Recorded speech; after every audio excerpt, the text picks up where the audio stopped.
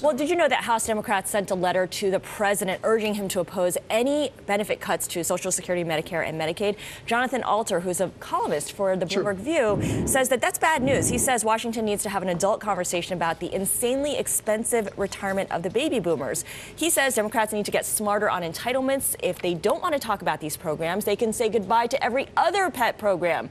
We can preserve Medicare and Amber only at the expense of investments in pre kindergarten programs or cancer research or anything else that they have uh, outlined. By 2030, he points out entitlement spending will make up half of the federal budget. The rest, of course, will be from defense and interest on our national debt. That ring debt. true, Bob Lighton? Of course it does.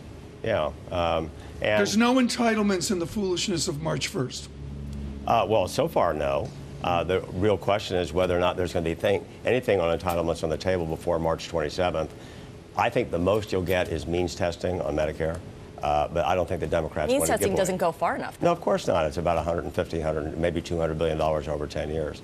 Uh, but I don't see the Democrats, at least in the next four years, giving up much on the benefit side. They'll go on the provider side. They'll want to cut uh, payments to drug companies, maybe cut payments to hospitals and so forth. But I don't see them doing anything to beneficiaries. What does the American public want? American public wants whatever they can get without paying for it.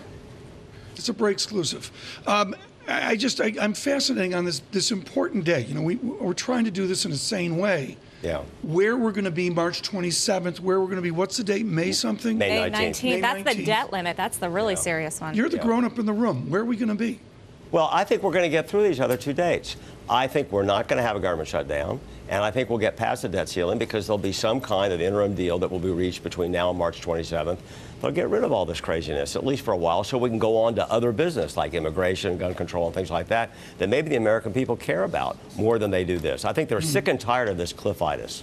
Thank you. Well, the cliffitis stems from Congress not doing a whole lot of anything, but central bankers are. And that brings me to my morning must read, where Nouriel Roubini, NYU, some call him Dr. Doom, points out the risks of these QE policies, not just in the U.S. 10 QE questions, policies becoming more unconventional, a lot less, with little clarity about short term effects, unintended consequences, long term impacts. QE does have important short term benefits. Side effects could be severe. Just this debate is heating up on what mm-hmm. those side effects are bubbles, distortions in markets. You talk about the impact on retirees and so on and Right. so forth. Nouriel really bringing that into Another light today. crisis, Yeah. basically.